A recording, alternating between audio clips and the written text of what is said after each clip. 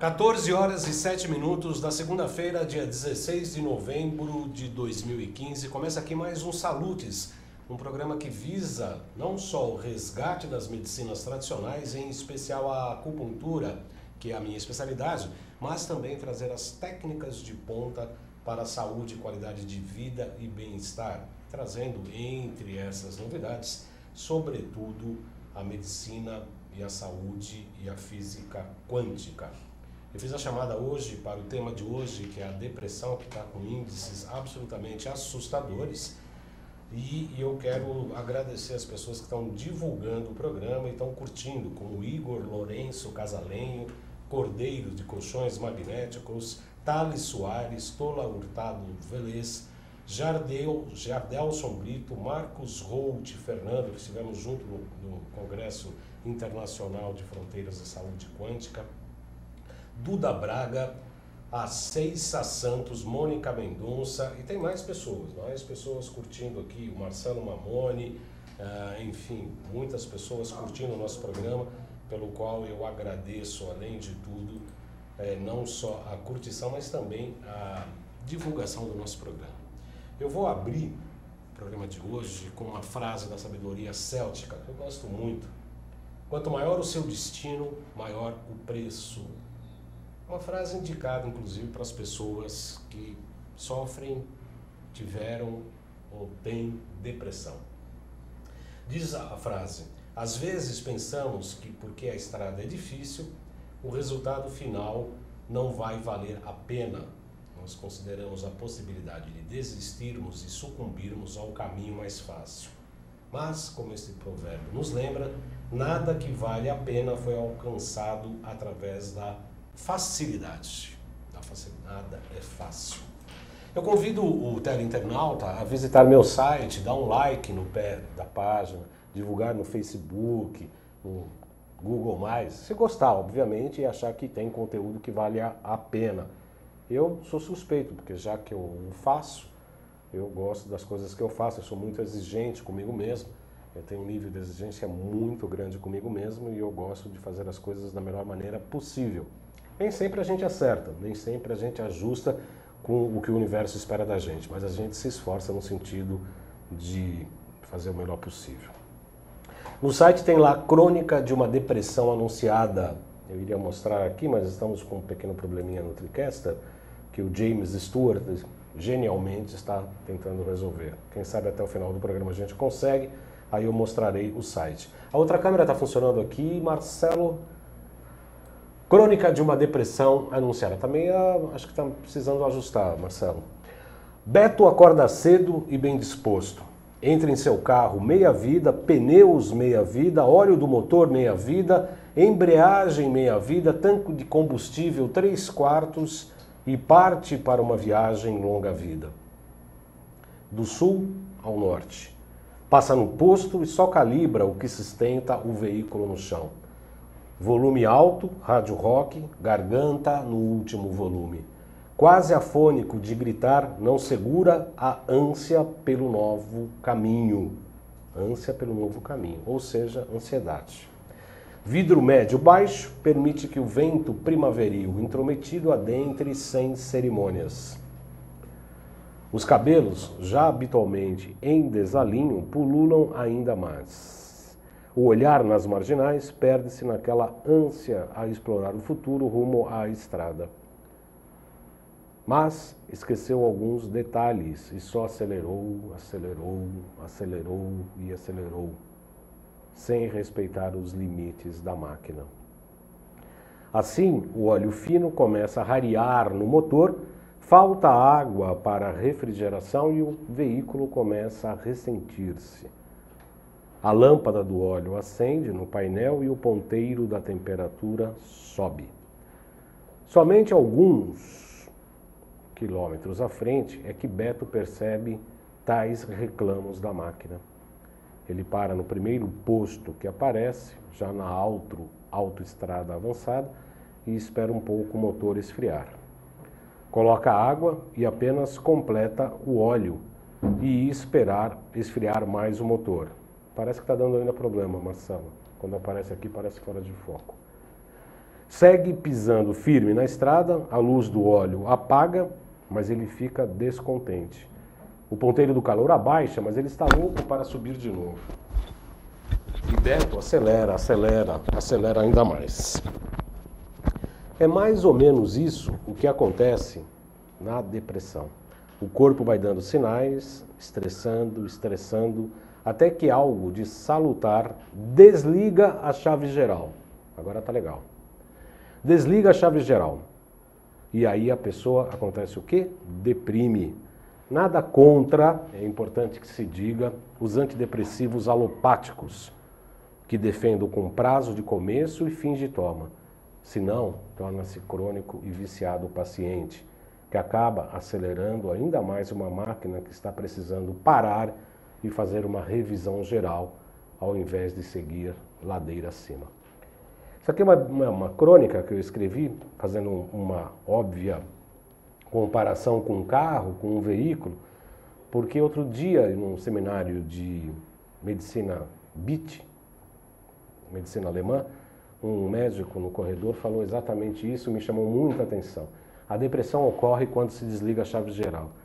Ou seja, você está indo tão errado na tua própria vida que alguma coisa da consciência, alguma coisa do seu próprio corpo físico vai lá e dá uma desligada na chave, que é para você parar mesmo e fazer um reinventário do que você está fazendo na sua vida. O que você está fazendo com a sua vida do ponto de vista profissional, emocional, mental, espiritual, enfim. Você está tendo qualidade de vida, está tendo bem-estar, está se realizando enquanto pessoa, mesmo com problemas. Todos nós temos problemas, todos nós passamos, passamos por fases tristes, todos nós estamos suscetíveis a nos sentir deprimidos. Isso ocorre e não é nada de grande problema.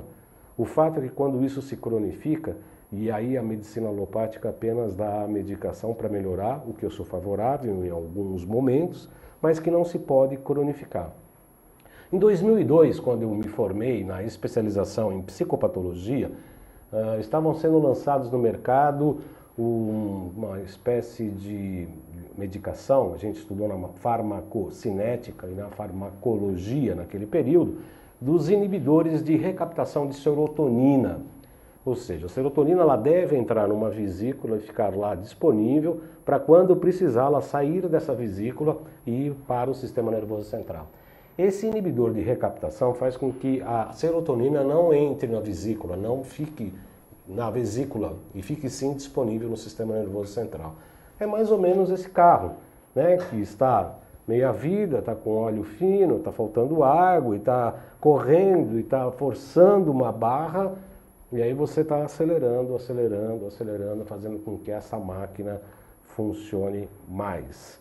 Obviamente vai dar problema ali na frente. Muito bem, este é o tema do nosso programa de hoje. O chat aqui na UTV, eu não sei se ele está online aqui, não estou conseguindo acessar. Eu peço para as pessoas que quiserem falar comigo, mandar alguma mensagem em relação ao programa, encaminhar alguma dúvida, ou crítica ou sugestão, eu vou colocar aqui na minha página do Facebook, João Carlos Baldan, no ar, perguntas e dúvidas por aqui salutes e de salutes, vírgula, depressão e acupuntura. Eu peço para o Marcelo, que está no nosso Twitter, colocar nosso primeiro slide no ar, por gentileza, Marcelo, depressão e acupuntura. Estou com a chamada aqui no Face, vocês, por favor, podem entrar e fazer os seus comentários, críticas e sugestões. Pois bem, este é o primeiro slide, que é praticamente a chamada, como essa moderna medicina ancestral pode auxiliar no tratamento da depressão. Por que, que eu resolvi fazer este programa? No próximo slide, a gente pode conferir uma matéria que foi publicada no jornal Estado de São Paulo em agosto do ano passado. Agosto do ano passado, vejam só esse dado. Mortes por depressão cresce 705% em 16 anos. Esse levantamento foi feito pelo jornal Estado de São Paulo, com base nos dados do sistema de mortalidade do DATASUS. Inclui casos de suicídio, suicídio e outras mortes motivadas por problemas de saúde decorrentes de episódios depressivos. No ano passado também tivemos uma triste morte, de suicídio, próximo slide por gentileza, Robin Williams, de 63 anos, se matou provavelmente por conta de depressão e dependência química. Em 96, 1996, 58 pessoas morreram por causa de problemas associados à depressão. Em 2012, há três anos atrás, eram 467 mortes. Um dado absurdamente alto. Isso mostra, próximo slide, por gentileza, o número de suicídios teve um aumento também significativo aqui no Brasil, de 6.743 para 10.321 mortes no período. Uma média de 28 mortes por dia. Imagine você, naquele ano, 28 mortes, em 2012, 28 mortes por dia por conta da depressão. Isso sem falar que a depressão também, na maioria dos casos, não consta do atestado de óbito porque se causa que a pessoa se matou, mas não fala que por conta da depressão. No estado, no, no estado de óbito geralmente não, não contém estas causas. Aqui no Brasil, a terceira idade, próximo slide, por gentileza, reúne estatísticas preocupantes. Os maiores índices de mortes por depressão concentrado na terceira idade, com pessoas de mais de 60 anos, ápice depois dos 80. Entre 96 e 2012, o ano desse estudo, o suicídio cresceu 154% na faixa etária após 80 anos. Tem uma, no próximo slide tem uma declaração do professor Miguel Jorge, professor associado de psiquiatria da Unifesp. Abre aspas, como você pode ver, o assunto é mais discutido hoje, há mais procura por atendimento médico e mais diagnósticos mas também está provado por estudos epidemiológicos que a incidência da depressão tem aumentado nos últimos anos, principalmente nos grandes centros. Podemos pular o slide, o professor Jorge explica que além do componente genético que pode predispor algumas pessoas à doença, fatores externos da vida atual, como estresse, grande competitividade, podem favorecer o aparecimento da doença. Pode voltar aqui para mim, Marcelo, por gentileza? É, geralmente a medicina fala muito em questões da, do estresse e da genética, né? como a genética fosse uma sentença que você não pode mudar. E a física quântica tem demonstrado, né, por uma série de, de, de fatores, que realmente a genética pode sim ser mudada. Né? A gente pode ter é, modificações bioquímicas por intermédio de uma série de coisas. Né? A Cládice Felizardo chegou, seja bem-vinda, Cládice. Estamos aqui falando sobre depressão e acupuntura. Seja muito bem-vinda. Na verdade, não é só genética, isso também pode, claro que tem um, um fundamento, mas você pode modificar essas condições genéticas por uma série de coisas, né? pela nutrição, pela homeopatia, pela acupuntura, pela ortobiomolecular, pela descontaminação de metais tóxicos, pela descontaminação de vírus, bactérias e protozoários. Eu mesmo tenho umas boas experiências de tratamento com depressão com acupuntura e desintoxicação de metais tóxicos, inclusive de pessoas ligadas à área médica. Médicos, tenho tratado médicos que tiveram depressão e a pessoa inclusive me mandou uma mensagem, tipo assim, o que, que você fez, né? Em três semanas praticamente, a depressão de 12 anos eu já não estou sentindo com a mesma intensidade. Ou seja, há componentes importantes que devem ser verificados em relação à intoxicação de metais, sobretudo, né?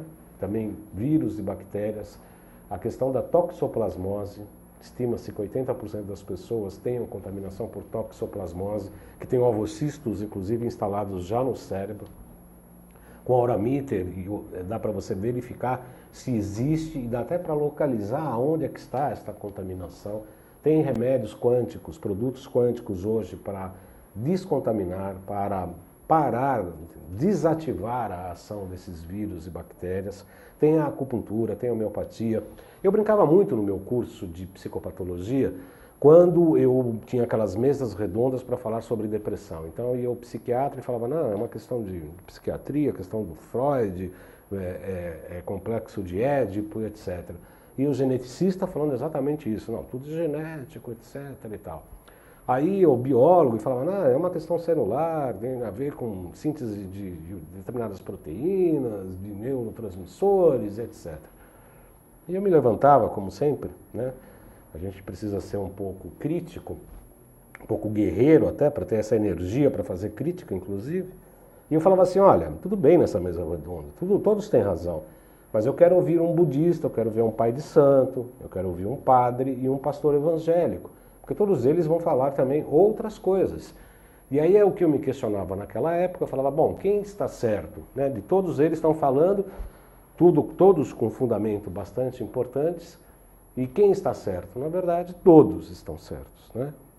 Agora, o que, que vai ser importante? Nós, tratadores, nós, terapeutas, nós, curadores, na minha humilde opinião, temos que sair do nosso trono de todo-poderoso, de sabe tudo, e colocar neste local o paciente. Sabe por quê?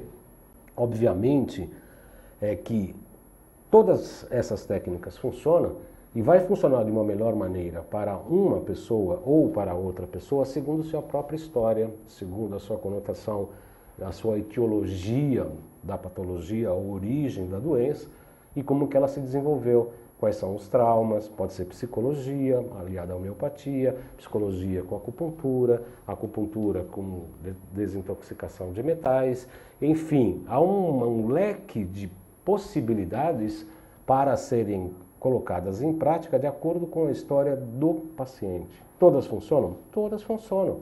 Todas são boas? Todas são boas. Como o paciente vai reagir à técnica é que a grande sacada do terapeuta, do médico, do psiquiatra, do psicólogo, enfim, esse será o nosso grande desafio. Este é o nosso grande desafio. Às vezes as pessoas me escrevem e falam, pô, mas isso, isso aqui, mas e isso? Né? Querem colocar regras gerais para tratar as pessoas. Nós precisamos sair das regras gerais e caminhar para um atendimento individual. Cada paciente é um paciente. Você tem a sua história. E a acupuntura é muito bacana nesse sentido, porque ela pode tratar a enxaqueca de duas pessoas com os mesmos sintomas, doendo na mesma região, com receitas de pontos absolutamente diferentes, porque esses pontos vão variar de acordo com o estado energético, fisiológico e emocional de cada paciente. Eu espero ter sido claro nisso, no sentido de falar que a o tratamento deve ser individual. A homeopatia é boa, a acupuntura é boa, a terapia ortobiomolecular é boa, a BIT alemã é boa, a alopatia é boa, o pai de santo é bom, o passo espírita é bom, a oração budista e o mantra budista é tudo bom, é tudo bom. O que vai servir para cada paciente é que é a grande sacada do terapeuta. A Juliana Moquedessi também está curtindo o nosso programa, seja muito bem-vinda. Eu, dúvidas, sugestões, críticas, por favor, pelo Facebook. A depressão pode ser genética? Pergunta Cladice Felizardo, acho que ela chegou agora há pouco. E a gente estava comentando exatamente isso. Há uns componentes genéticos, sim, é, que podem influenciar, mas como eu disse, a terapia ortobiomolecular, a acupuntura feita preventivamente, a homeopatia feita preventivamente e a própria nutrologia pode fazer com que esses genes não se manifestem ou se manifestem de maneira menos intensa. E aí, nesse caso, pode se tratar inclusive com a alopatia. Eu vou pedir para o Marcelo dar mais um, um slide para a gente ver mais uma declaração do professor Miguel Jorge da Unifesp. Um estilo de vida estressante, uso de drogas e álcool, insatisfação em diversas áreas são fatores de risco para a doença. Isso explica um pouco a Clarice Felizardo. Fazer escolhas pessoais e profissionais que ajudem a controlar esses fatores é uma forma de prevenir a depressão. Volta aqui para mim, Marcelo, por gentileza. São duas frases importantes que eu quero destacar nessa, declaração do professor Miguel Jorge da Unifesp. Primeiro, fazer escolhas pessoais e profissionais que ajudam a controlar os fatores que podem gerar a, a, a depressão. Ou seja, voltando àquela crônica do carro que está meia boca, né? sendo acelerado, acelerado, acelerado, e não fazendo escolhas pessoais e profissionais que vão gerar a depressão. Aí a pessoa está deprimida, fazendo da vida uma porcaria, e aí começa a tomar antidepressivo. Aí fica parecendo aquele bicho hiena, né, que come uma determinada substância, que eu não quero falar aqui, e fica rindo o tempo todo. E é isso que, infelizmente, quando as pessoas cronificam antidepressivos é, é, baseados na inibição da recaptação de serotonina, acaba acontecendo. Porque os fatores que geraram a depressão continuam, o mau emprego, o mau casamento, o mau relacionamento com as pessoas, má realização enquanto pessoa, má busca espiritual, totalmente desencontrado em relação a tudo e a todos, né? totalmente desencontrado, e começa a tomar só o remedinho para que fique alegre e contente. No meu modo de entender, isso pode ser momentaneamente, em crises de depressão muito profunda, tomar essa medicação sim, mas a partir do momento que começa a sair disso, precisa sim uma autorreformulação. Buscar na própria vida o que lhe faz ser pessoa, o que faz ser feliz, o que, que te faz realizar-se enquanto membro integrante do próprio universo, segundo eu entendo. Essa é uma interpretação absolutamente pessoal. Eu não me considero nenhuma autoridade, mas eu tenho um curso de especialização em psicopatologia e a minha monografia no final do curso foi acupuntura e depressão. E eu, como sou atrevido, bastante atrevido, eu defendi Carl Gustav Jung, né, um discípulo de Freud, que depois rachou com o Freud, na Universidade de São Paulo, onde é conhecido a, a prevalência, né, a aceitação, a amizade, o, enfim, o, o, a admiração por Freud. E eu ainda consegui tirar oito, pedindo para pessoas, inclusive psiquiatras bem radicais, para fazer a correção do meu, meu trabalho de final de ano, né, do meu TCC. No próximo slide a gente fala, ah, acupuntura para que, que é? Para enxaqueca, dor de coluna, pressão alta, diabetes, pode ajudar a trabalhar a tireoide, inclusive pode ser um bom remédio para a memória. Enfim, a acupuntura pode ser tudo isso, mas ela é além disso, ela vai além disso. Aliás, muito além disso. No próximo slide eu faço uma chamada. A acupuntura trabalha aspectos mais profundos e fundamentais da existência, obviamente que trabalha com aspectos mais profundos. No próximo, a antiga medicina tradicional chinesa ajuda o homem moderno nos seus aspectos físicos, psíquicos Aliás, eu tinha até colocado, eu retirei por conta desse programa, mas também até nos seus conflitos espirituais. Por isso que eu coloquei embaixo, auxilia no processo de iniciação. O que, que é o processo de iniciação? Próximo slide, Marcelo, por gentileza. Mergulho em si mesmo. Ficou meio fora de foco aí, é mergulho em si.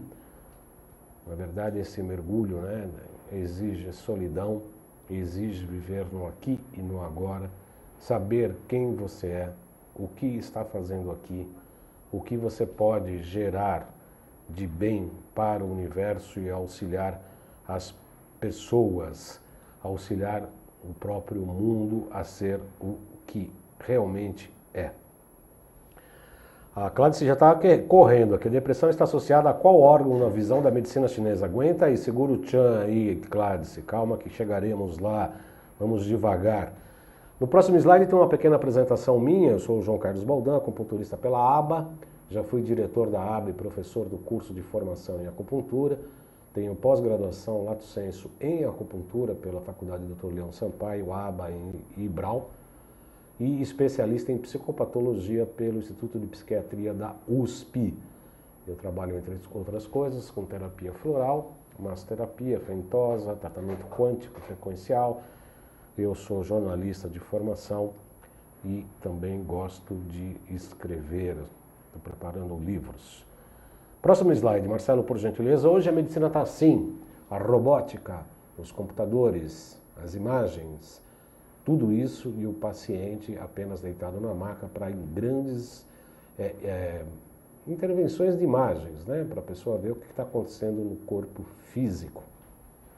No próximo slide eu faço um resgate do médico antigo, aquele que sentava. Eu gosto muito dessa cena porque o médico está meditando, ele está pensando, ele está avaliando o paciente. Eu gosto dessa cena porque é isso quando a gente pega o pulso do paciente no consultório. A gente olha no olho, a gente percebe a respiração, a gente percebe o quanto que ele está falando de verdade, o quanto que ele está não mentindo, mas escondendo talvez alguns determinados estados para que não confesse ou queira esconder coisas mais profundas da própria existência que de repente está ali a própria cura ou aonde devemos trabalhar.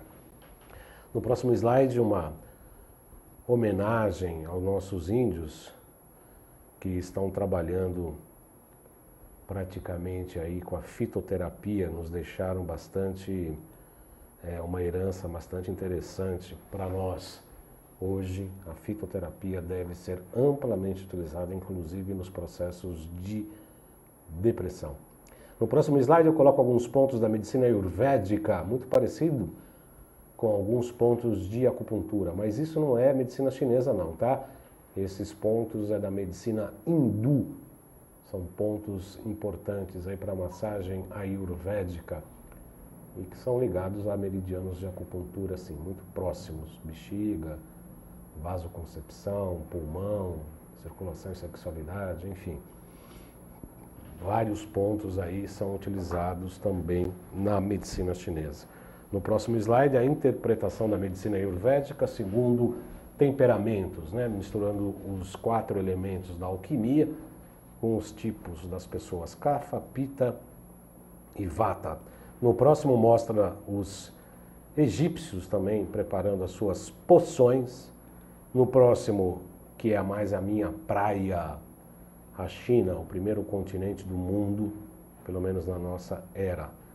E em seguida, as nossas ferramentas principais, ou seja, as agulhas para chegar um pouco na medicina, não sei se vai dar tempo da gente falar tudo o que eu pretendo hoje, uh, mas eu quero avisar o nosso internauta. Pode voltar aqui um pouco para mim, Marcelo?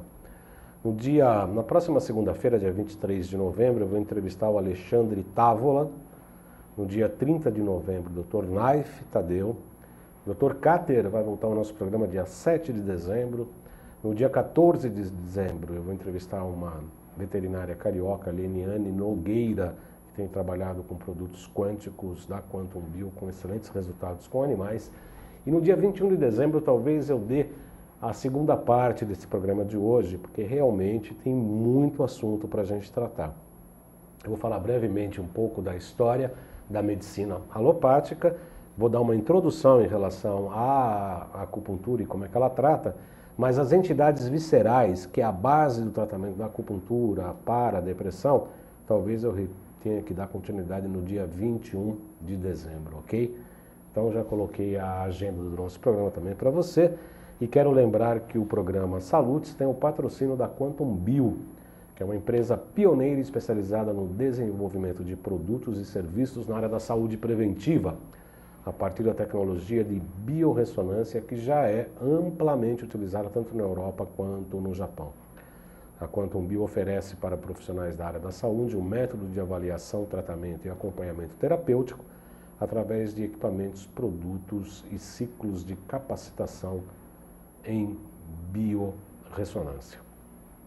Aproveitando rapidamente o nosso intervalo de conteúdos, a gente é, havia programado um workshop sobre FT pela segunda vez, porque o primeiro foi um grande sucesso, que seria realizado no dia 28 de novembro. Mas muitas pessoas têm que viajar, muitas pessoas estão com compromissos, essa correria de final de ano e tantas coisas acontecendo ao mesmo tempo no Brasil e no mundo. Então nós adiamos esse workshop para o dia 19 de março do próximo ano. Se você tiver interesse, avise-me por e-mail clínica.jcbaldan.com.br. Eu peço para o Marcelo, se tiver o nosso GC aí, por gentileza. ou mande um WhatsApp, o telefone da clínica, né, 5594-7736. Você pode mandar uma mensagem por intermédio do site www.jcbaldan.com.br. Aliás, eu reformulei esse site, ah, eu peço que você vá lá, dá um like, né, divulgue para ajude a divulgar nosso trabalho. Tem lá um formulário de comunicação, você pode mandar um e-mail, eu vejo diariamente, respondo. E tem o um celular para mandar um WhatsApp, que é o 94806 3444. 94806 3444. Muito bem, voltando ao início do desenvolvimento do pensamento cartesiano, que infelizmente, newtoniano e cartesiano, que infelizmente toma conta hoje da medicina.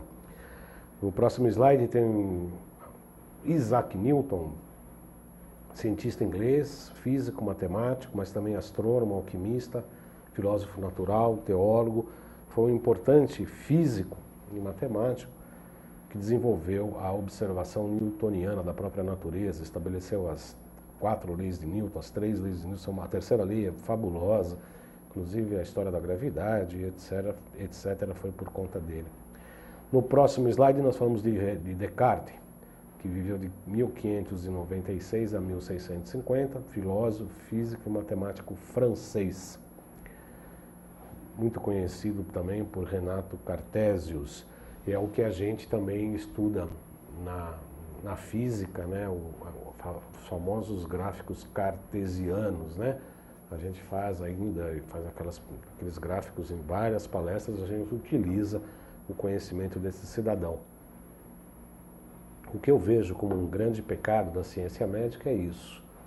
Consultas, indicações alopáticas uma das possíveis abordagens médicas, porque Existem outras. Volta um pouquinho para mim antes disso, Marcelo, daqui a pouco a gente volta nesse slide. Porque é exatamente isso que eu vejo que infelizmente acaba acometendo a, não só o ensino, mas também a prática do ensino, da, da prática médica, prática terapêutica. Porque quando eu não conheço o ser, eu não conheço a pessoa, eu preciso criar determinados tipos de atendimento, protocolos de atendimento, receitas de pontos. Isso são importantes, né, para fundamentar o conhecimento, mas a gente não pode ficar só baseado neste tipo de conhecimento cartesiano. Estabelecer pontos para tratar a depressão para todo mundo, por exemplo. Não é assim que funciona. Há uma série de pontos indicados: circulação e sexualidade, pulmão, rins, coração, né? fígado, enfim, nós temos que tratar a pessoa como um todo. Equilibrando a pessoa como um todo, com alguns pontos, obviamente, indicados para tratar a depressão, isso já vai ajudar bastante. Mas cada receita de ponto deve ser adequada, estimulada para cada paciente. Cada paciente tem que ter um tratamento único, como eu disse. Voltando nesse mesmo slide, pecado da ciência médica, por favor, Marcelo. Consultas atuais e indicações alopáticas são uma das possíveis abordagens médicas. Há outras baseadas nas medicinas ancestrais, que inclui a fitoterapia, indígena ou não, a medicina da floresta, as fitoterapias de diversas civilizações, a alquimia chinesa antiga, a alquimia medieval, a acupuntura e outras, e outras medicinas como a, a, a, a homeopatia, por exemplo, a medicina ayurvédica, a medicina quântica, a medicina bio-ortomolecular que fazemos agora que é muito importante. Vamos lá para o Hipócrates, grande Hipócrates, 460 377 antes de Cristo, que falava, entre outras coisas, faça do seu alimento o seu remédio, do seu remédio o seu alimento. Ele é considerado o pai da medicina, estabelecendo praticamente os primeiros conceitos da medicina ocidental. No próximo slide eu falo algumas coisas de saúde pública, higiene, ele fez o conceito de endemias causado por males do clima, água, agricultura, má nutrição e costumes. Como se vê, é exatamente isso também o, o, a, praticamente a etiologia da depressão. Males pelo clima, água, agricultura, má nutrição e costumes. Outras origens, ele estudou resfriado, pneumonia, cirrose, mau humor, tuberculose, malária, diarreia e etc. Tem três frases do Hipócrates, no próximo slide, que eu gosto muito. O médico deve reconhecer e saber qual que é o medicamento do próprio corpo. Tem a ação do médico, que não é única, e a vontade de viver do paciente. Esta última frase tem muito a ver com o tratamento da depressão. Afinal de contas, é, essa é uma das grandes, um dos grandes problemas para que a gente fale, porque às vezes o depressivo não quer mais viver, ele não vê saúde, saída no fundo do, do, do poço. E aí sim, quando a, a medicação alopática é de fundamental é, importância. A Cláudia quer que não deixe nada para trás, fale tudo hoje. Só se eu disparar aqui a metralhadora e não, não vou conseguir, Cláudia. Tem muita coisa para falar. Vou ser desrespeitoso com você e comigo mesmo e com todos os internautas se eu fizer isso. Medicamento do corpo. A imunidade, a sabedoria do corpo, a homeostase, ou seja, o equilíbrio. Nós estamos falando, quem está falando isso é o Hipócrates, o pai da medicina ocidental. Ação do médico, por intermédio de medicamentos, cirurgia ou psicoterapia, para avaliar os humores. Tem quatro grandes humores: sangue, bile, astrabile e pituita. O equilíbrio é saúde, o desequilíbrio é doença. Ou seja, nós temos esses quatro humores dentro de nós, né? Sangue, a bile, astrabile e pituita. E a alopatia surgiu para ajudar a natureza, contrários, contraris curantor, ou seja, o antagonismo como princípio. Muito bem, no próximo, ainda falando do corpus hipocraticum, a vida é certa, a arte é longa, a experiência enganosa e o julgamento difícil. Olha só, que raciocínio, do, uma, uma pequena frase né, Corpus Hipocrático, que tem uma série de livros. Eu, infelizmente, ainda não os li, mas está na minha, minha lista de, de leituras, com certeza. A vida é certa, a arte é longa, a experiência é enganosa e o julgamento útil. Olha aqui para mim, voltando o, Marcelo, por gentileza. É, Hipócrates fala uma coisa que eu tenho defendido em relação à prática da acupuntura, né? Porque as pessoas falam, ah, a técnica, a técnica, a técnica é uma técnica, mas ela é uma técnica que exige. É, outro dia fizemos um programa na Rádio Trianon, entrevistei a Maria Fernanda Jacó, fisioterapeuta, acupunturista, e a gente estava falando exatamente de que para praticar a acupuntura a gente precisa amar não só a acupuntura como técnica, entre aspas, mas também aquele paciente que nos procura. Outro dia atendi um colega e estava explicando sobre o arquétipo do médico ferido. Médico, muito sensível, gente boníssima, coração maravilhoso. E quando eu falei do, do arquétipo do médico ferido, ele ficou, nossa, eu não sei o que é isso, mas me arrepiou. E ao explicar, ele ficou muito emocionado. Os olhos marejaram. Que o arquétipo do médico ferido diz exatamente, segundo Jung, que os nossos pacientes nos trazem as feridas que temos que tratar dentro de nós mesmos. Isso não pode ser uma técnica. Isso não pode ser algo frio. Tem que ter amor, tem que ter sensibilidade, tem que ter disponibilidade, né? tem que ter coragem tem que ter amor pela profissão e pelo ser humano e na transformação dele em algo melhor. Porque ao transformar o meu paciente em algo melhor, eu estarei eu, como terapeuta, me transformando em algo melhor. Por conta disso tudo, eu costumo chamar a acupuntura de arte terapia. E essa frase do Hipócrates vai de vai ao encontro do que eu defendo. A vida é certa, a arte é longa, a experiência pode ser enganosa e o julgamento é difícil. Então, para ser um bom acupunturista, precisa saber disso tudo. Um bom terapeuta ortobiomolecular precisa disso tudo. Um bom terapeuta floral tem que saber disso tudo. Um bom homeopata, um bom psiquiatra, um bom cirurgião, um bom psiquiatra, um bom ortopedista.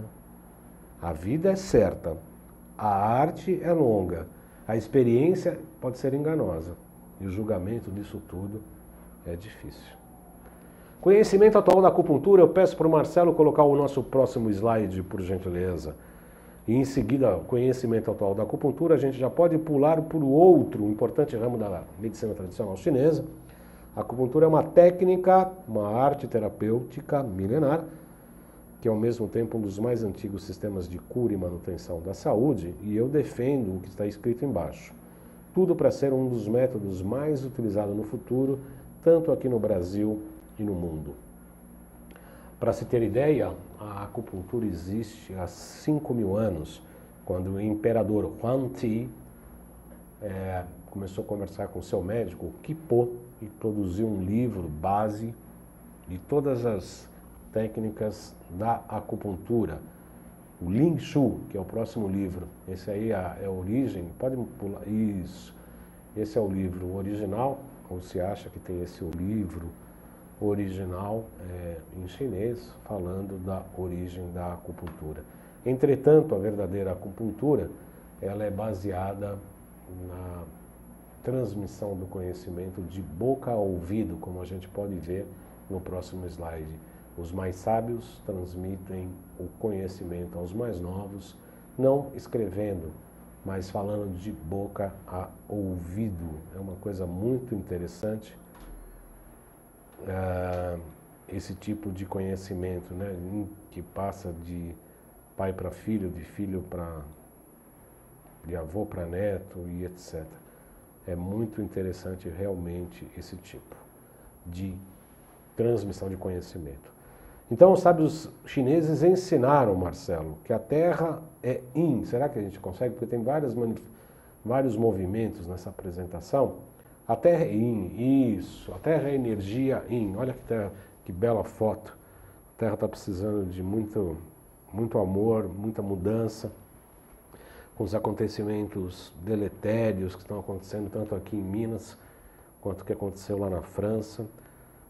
Esse é o nosso planeta que está precisando modificar o nosso padrão energético, porque tudo que ocorre também no planeta é a soma dos valores que os seres humanos acabam emitindo e vivendo.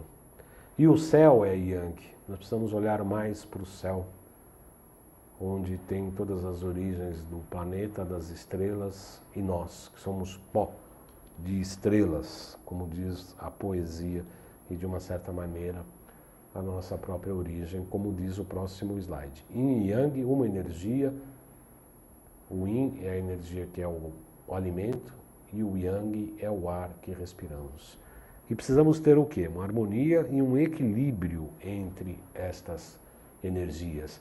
Volta aqui um pouquinho para mim, Marcelo. Entre o yin e o yang, o casamento do céu com a terra, o elemento masculino com o elemento feminino, deste casamento surgem três filhos.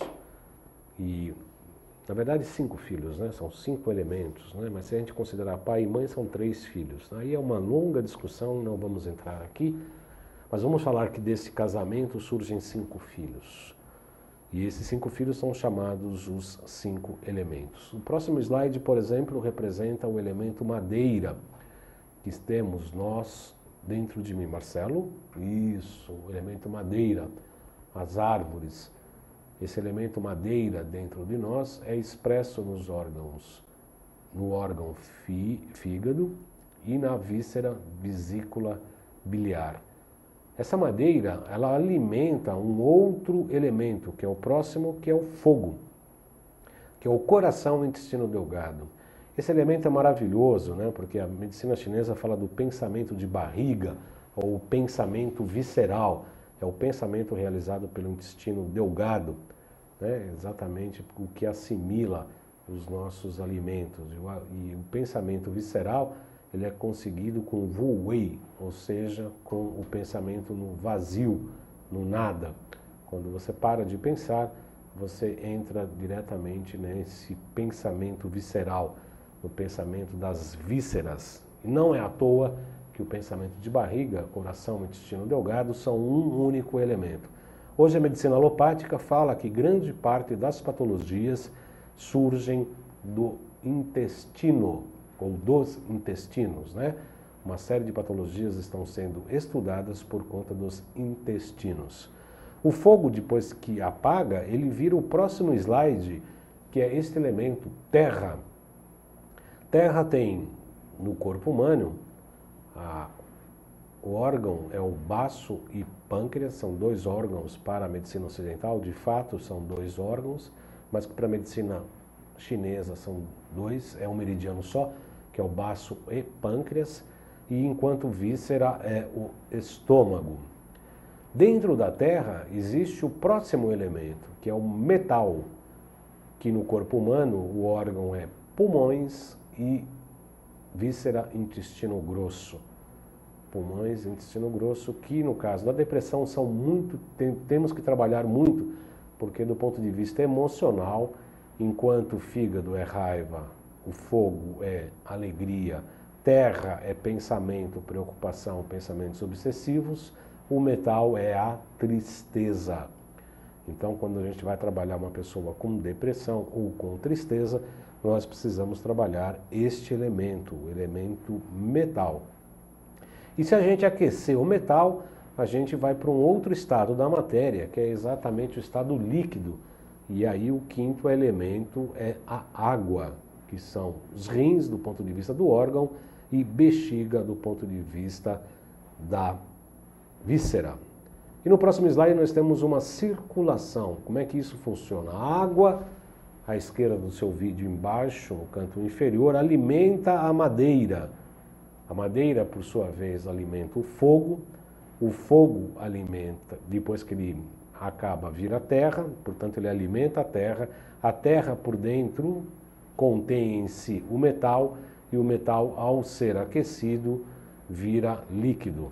No próximo slide nós temos um, uma integração do que a gente chama do ciclo de geração, ou seja, o que eu acabei de dizer, a madeira alimenta o fogo, o fogo alimenta a terra, a terra alimenta o metal e o metal alimenta a água.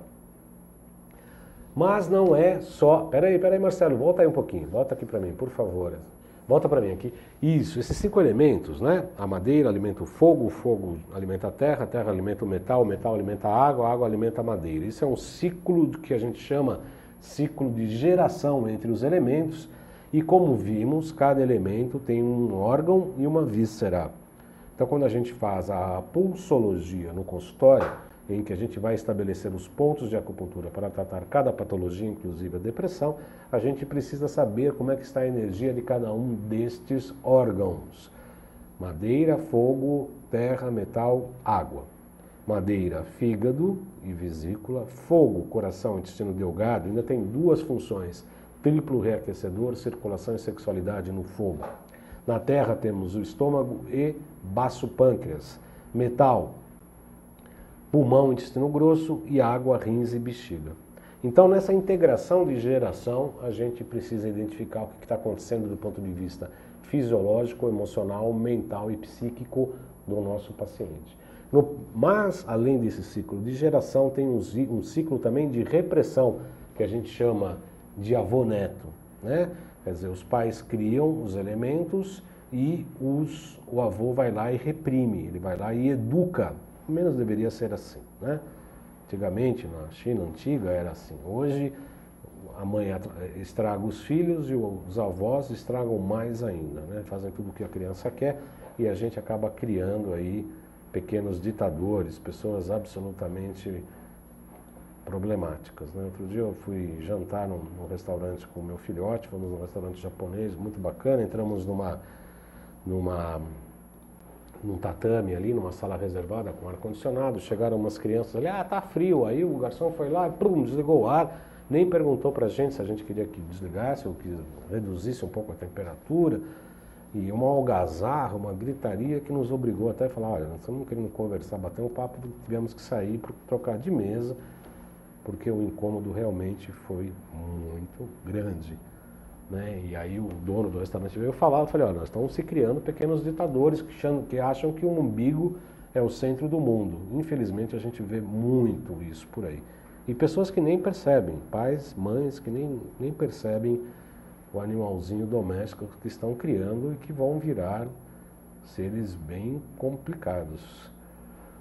Muito bem, no próximo slide, que aliás eu acho que vai ter que ser o último do nosso programa de hoje, mas eu prometo que a gente vai dar continuidade a esse programa, é exatamente isso. A madeira gera o fogo nessas setas pretas contínuas, o fogo gera terra, a terra gera o metal, o metal gera água. E a água gera madeira e aí vai o ciclo de geração. O ciclo de inibição, ou avoneto, o ciclo de repressão, a madeira tira da terra o seu alimento, portanto a madeira esgota a terra. A terra com a água, né, seca a água, se você jogar terra em pouca quantidade de água, obviamente vai virar um pouco de barro, mas a água vai é, sumir na terra. A água apaga o fogo, o fogo derrete o metal e o metal, como eu pus aí aquela imagenzinha do machado, o metal corta a madeira.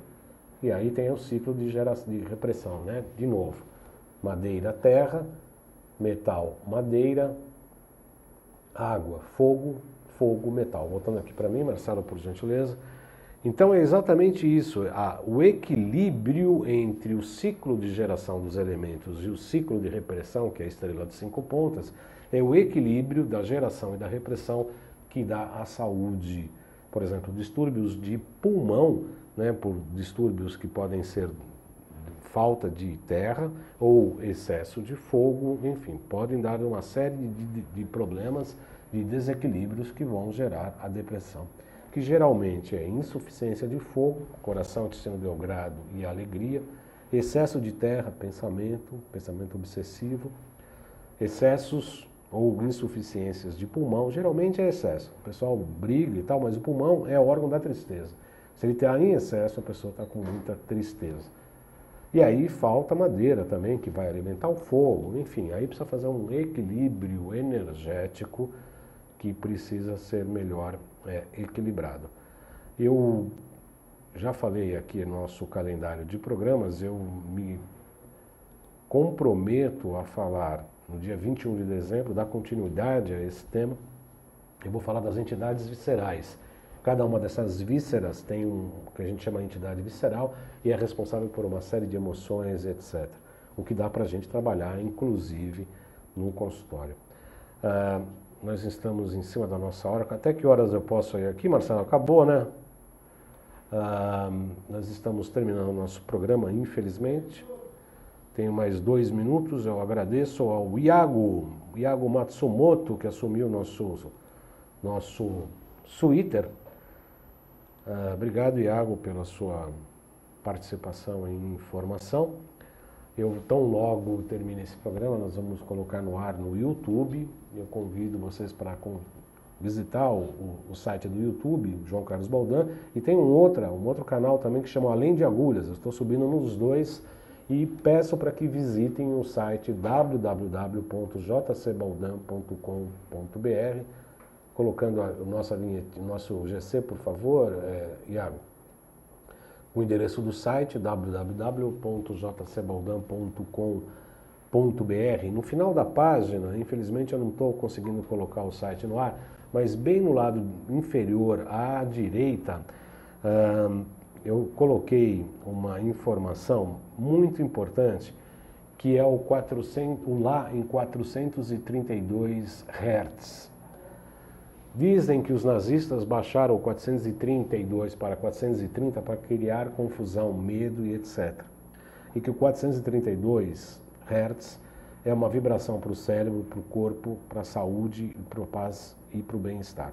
Eu recomendo para as pessoas que estão enfrentando problemas de depressão ouvir, clicar no final da página, tem lá 432 Hz. Tem uma matéria que eu explico isso também está no topo do site. Mas você, antes de dormir, ouça aquilo. São quatro horas, mas é uma, uma, é uma vibração só, é uma nota só que dá algumas nuances, mas são 432 Hz. Está disponível lá no site. Dizem que por volta de 5.500 a.C., os sumérios afinavam seus instrumentos só nessa frequência. A, no, a, nota lá, em vez de vibrar 430 vezes por segundo, vibra 432 Gênios da música inquestionáveis como Mozart e Verdi, além de outros, mantinham a afinação dos seus instrumentos por intermédio desse Lá em 432 Hz. Então eu convido você para ler a matériazinha que tem lá, abrindo o site em cima, no menu tem lá 432 Hz e no pé da página do lado direito, bem embaixo, você vai ter acesso a um link do YouTube desta vibração que realmente já tem muitas pessoas comentando, ah, estou dormindo melhor, estou mais calmo e etc. Então é uma vibração para que uma nota em vibração que vai te ajustar. Eu conheci isso por intermédio do Alexandre Távola, que será nosso entrevistado na próxima semana aqui no Salutes. Ele é engenheiro, ele está desenvolvendo equipamentos eletrônicos para a gente fazer é, biorressonância, diagnóstico. Ele trabalha numa empresa que é a Nova Ciência e, e ele é um cara muito inteligente, muito claro, inclusive trabalha no Hospital das Clínicas na área de oncologia. Ele tem muitas informações importantes. E ele que alertou durante uma aula do curso de pós-graduação para esse 432 Hz. É, eu particularmente é, eu gosto bastante, portanto eu recomendo que você utilize. Eu agradeço muito sua atenção, a sua disponibilidade. É,